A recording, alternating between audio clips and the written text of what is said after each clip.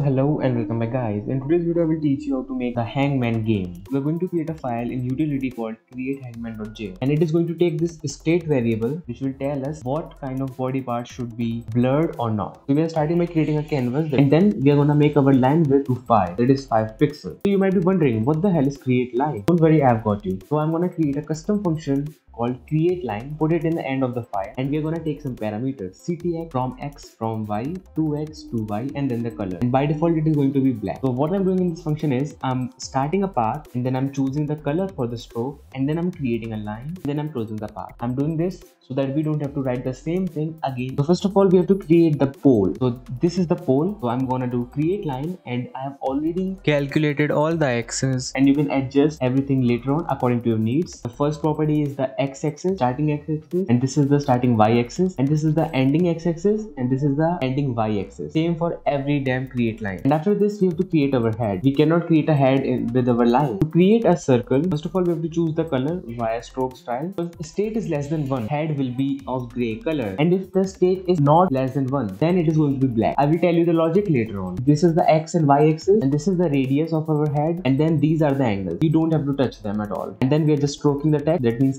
creating the circle and ending the path. Then we are creating the main body. This is like the stomach and chest area. These are the hands. Then we have the leg. And then we are just returning the image. And now let's go back to our hangman. So this will be our command and I'm going to tell you how the hell everything works so that you can easily make this thing. And I'm really sorry that I'm not writing it. First of all, we are defining the reply. And then I'm going to use the let to declare few variables. This is equals to that state variable. It means how many times user choose a wrong character. And then at it is the image. It is going to be a new message attachment and don't forget to import from discord.js package and then we are using the await function to create the hangman. We have to import this from our utility file and then we are creating the image and this file's name will be game.png i've created a file called word and it has like 40,000 words inside it and you just have to go on your hangman.js and create a variable called words and then you're gonna use a read file sync function to read that file. Then we're gonna split it according to slash n and then we're gonna choose a random word from them. We just have to do math.floor and then we have to do math.random multiplied by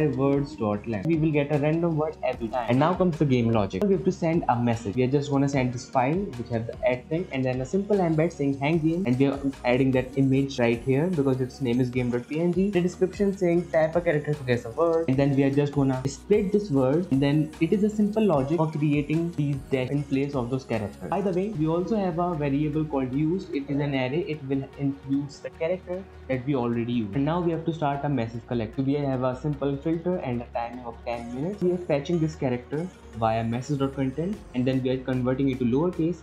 And then if the character is not a letter, then we are saying, yo, you have to provide a letter. We are checking if this character is already used. And if it is already used, we are just saying, yo, you already used this letter. And by the way, I'm adding these dot then thing. It is for like automatically deleting the messages and I'm just gonna add this catch thing so that if we do not have any permission to read the message we will our bot will not break if we add this dot catch thing. So we are just deleting the messages after 5 seconds. And then we are just pushing the character to the used variable. If but do not include this character that means it is a wrong character then we are gonna do wrong plus plus. And this means that another body part will be hanged now. We have this done thing. In this we are just checking if the every character of this word is already used by the user. If that is true, that means that the user won. And if the wrong is equals to 6, that means user made a mistake 6 times, that means they lost. That's what we are doing and then we are sending a simple message, please write it properly.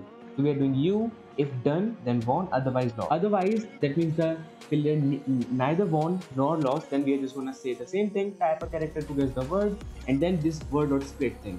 That is just for adding these dashes and the used word. You will see the thing in action, then you will understand it properly. And then we are just ed editing the message. First of all, removing the old attachment, adding the new file, and then our simple embed. And this color thing is like if words are equals to 6 wrong, then red. If done, then green, otherwise a random color. And at last, we are doing our final if check. If the user lost or won the game, then just end the collect because we don't wanna read the messages for unlimited time. And then we have, a, have our simple collector end event that is user take way too much time to complete the game. Then we are just going to say game ended you took too much time to respond. And now let me show you the thing in action so that you can understand what it did so guys now we are in and now let me show you the game. So if i do slash hangman you can see that bot responds us with this thing.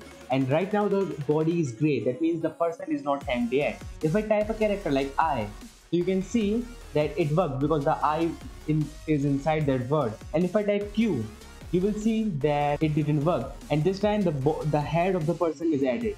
And now if I type something like 3 you are gonna see that I will going to get an error. And it says you have to provide a letter not a number or symbol.